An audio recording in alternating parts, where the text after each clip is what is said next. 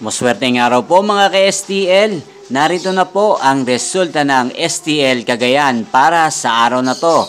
Naway ang mga natayan niyo pong mga numero kanina ay manalo nawa ngayong oras na to. Good luck!